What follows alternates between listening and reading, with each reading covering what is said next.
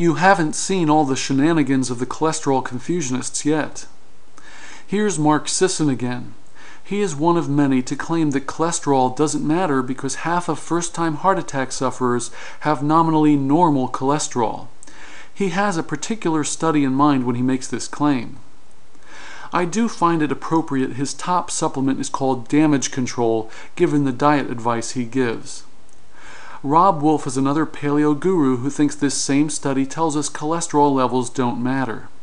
Let's look at the study and see if we should agree with his carefully reasoned conclusion that we, which I'm guessing Wolf doesn't think includes himself, are dumb when it comes to cholesterol. Here's the news release for the study, which is linked within Wolf's article. We quickly see that the heart attack sufferers were deemed to have safe cholesterol levels based on current U.S. guidelines. The principal investigator of this study, Greg Fonarow, did not conclude, as our two bro scientists did, that cholesterol is a red herring in the fight against heart disease. Instead, he thinks the targets for cholesterol may be too high and should be lowered. He also commented that very few patients had ideal cholesterol ratios by current standards. Like practically every other modern cholesterol study the Confusionists embrace, cholesterol lowering medications were involved, complete with their side effects. Side effects you can be sure the prescribing healthcare providers decided were worth the risks for these patients.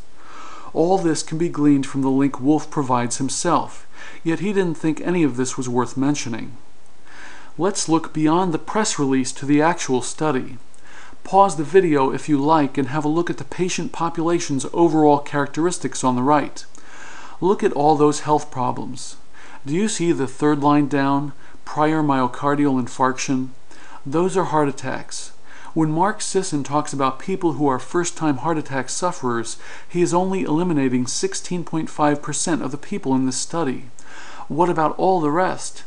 The authors weren't kidding when they wrote that cardiovascular risk factors and comorbidities were frequently present. I see overweight people. I see many with a history of high cholesterol for which only some have been given medication to control it. I see smokers, diabetics, and high blood pressure sufferers. I see people as old as 79. So let me ask you, in this patient population, do you think their cholesterol levels were normal by the standards of the Japanese in the 50s? Do you think they had stable low cholesterol their whole lives because they were eating plant-based diets? Or do you think this 100% American overweight group of heart attack sufferers mostly ate diets that were more likely to raise their cholesterol only to have it fall at the end of life like you see at the top of this graph? Who do these guys think they're kidding? Abuse of the J-curve phenomenon is a handy distraction for the illusions of the Confusionists once again. Here is an interpretive remark at the end of the study. Perhaps LDL goals should be lowered even more, they say. Fonarow's suggestion of lowering targets for LDL was met with derision by the low carbers. Here we have a comedian, Tom Naughton, saying a cardiologist was practicing bad science. This must be some kind of meta joke. Since then, an important new study has provided support for the lowering of LDL targets in at-risk patients. The latest and best research says Fonarow is probably right, even though he is not a comedian. The accompanying editorial to this recent study could not have been more supportive of the plant-based nutrition strategy.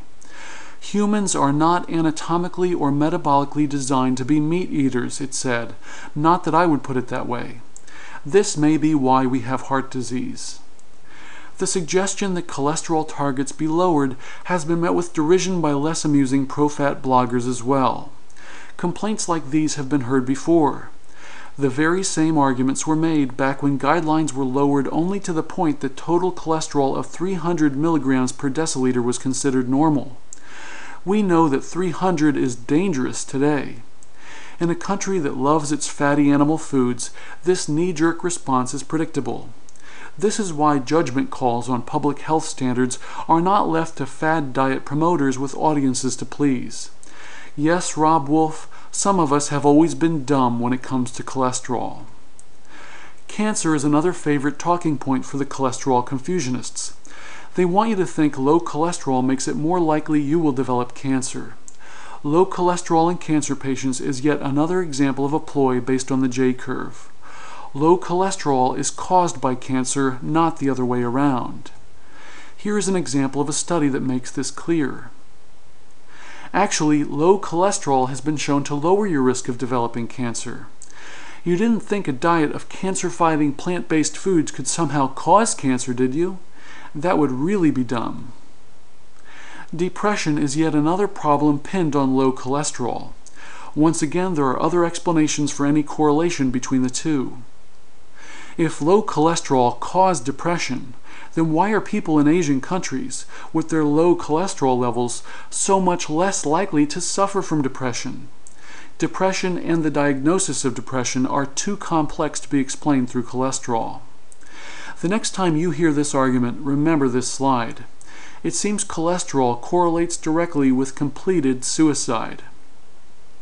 Often, the pro saturated fat propagandists will find a study here or there that seems to support their ideas. I have to give them credit for looking so hard. Misleading studies like theirs must be hard to find hidden among all the other studies they try to ignore. Usually they will point to some small scrap of epidemiological data, where some population during a particular period of time seemed to do better in some health outcome in spite of eating more saturated fat. They find these scattered studies to be highly significant, unlike the vast bulk of data they like to either nitpick or pretend doesn't exist. Their studies are usually easy to dismiss. I'll show you a good example of that. But first, have a look at this slide. Here, epidemiological data seem to indicate that smoking prevents Parkinson's disease. Does that mean smoking is good for you? Of course not. Epidemiology can never prove causation because there are always possible confounders that may skew results. Here's another factor to keep in mind. You should expect to see random results that defy expectations it would be unrealistic to believe that there could be no statistical noise in data drawn from the real world. Any gleeful trumpeting of aberrant or insignificant studies supporting cholesterol or saturated fat is best seen as Confusionist desperation. Here's another factor to help you weed through their garbage blogs. Most of the studies the Confusionists like to cite come from the post statin era. Any study conducted in the industrialized world attempting to compare diet with heart disease needs to account for the use of cholesterol lowering drugs. As you see here, they are widely used. I chose evidence from Sweden to set us up for one of those Confusionist studies that are so easy to dismiss. Here is a blog post excerpt from saturated fat apologist Anthony Colpo, in which he finds validation for his fringe views with a fringe study.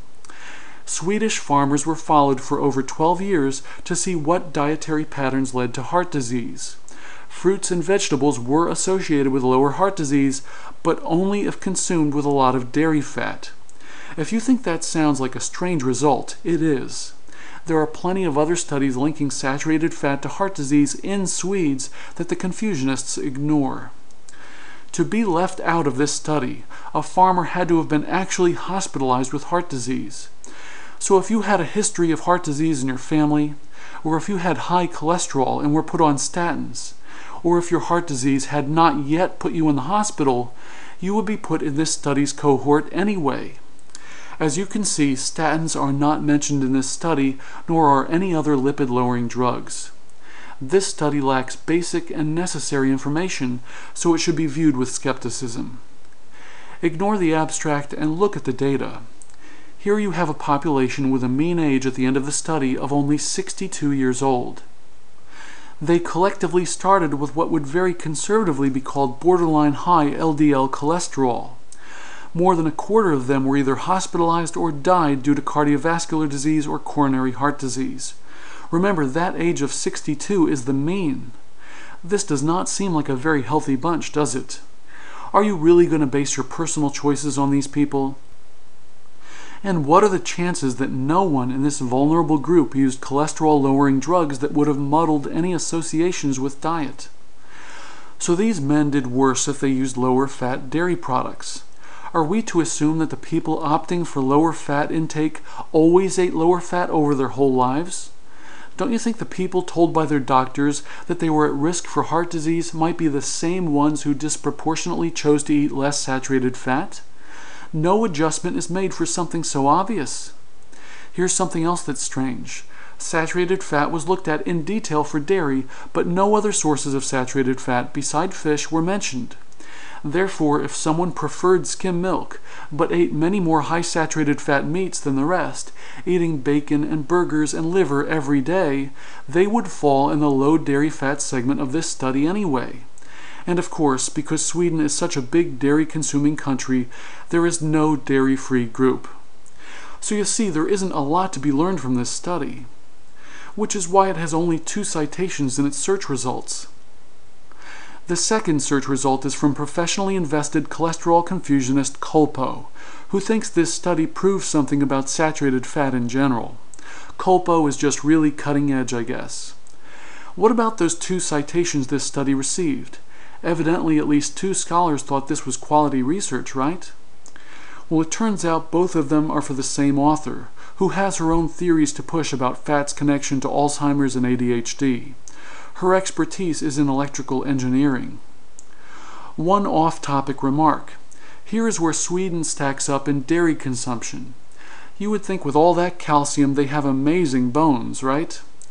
Nope, they have a very high prevalence of osteoporosis. Are you starting to wonder about the thought process of someone who would buy into all this garbage science on cholesterol? I'll give you a peek into the Confusionist mind in the next video.